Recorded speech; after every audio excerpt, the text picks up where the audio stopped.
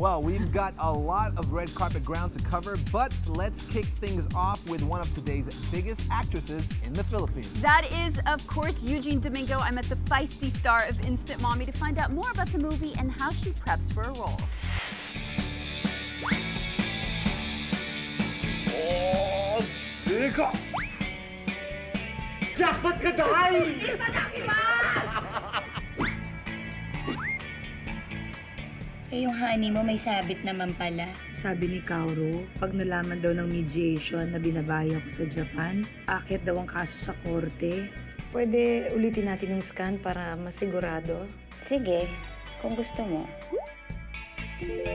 Now, Eugene, I know you hold the record for being um, the lead actress or one of the lead actresses in the Philippines to film seven movies in a single year. Now, I imagine this was one of the seven movies, correct? Yeah. How did you do it, seven movies in one year?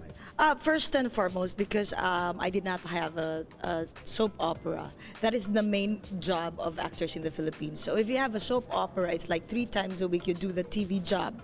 But in my case, fortunately, I have more time to do movies. It's actually my first love, well, after theater, doing movies. And um, I'm just very lucky to be given um, interesting roles this year.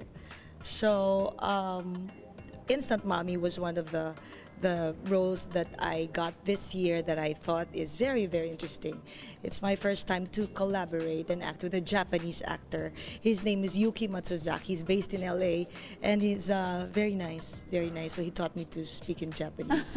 Now, everyone, of course, has been talking about you because they love you as a comedian, and I know you. Thank you. I know. you- I, I know you don't like it. Everyone says, "Oh, you're known only as a comedian. You've never done any dramatic roles." I, I know you absolutely have. However, of course, this is, uh, you know, your last one was your first feature film is uh, in a dramatic role, correct? Mm-hmm. And now this is a bit of mix of drama and comedy. Yeah. How how does preparation differ when you're preparing for a dramatic role versus a comedic role?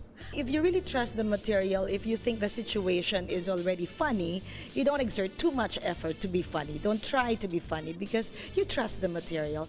Um, in the case of Instant Mommy, I think the situation is really funny. Um, the character Beth Chai is her name. That's the character's name I played.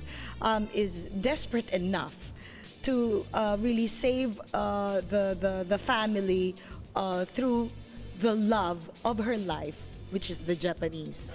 So she had to to invent situations. She had to think of uh, um, ridiculous events.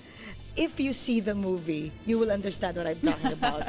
but uh, Betcha is really a desperate woman, and she's just uh, so in love with love.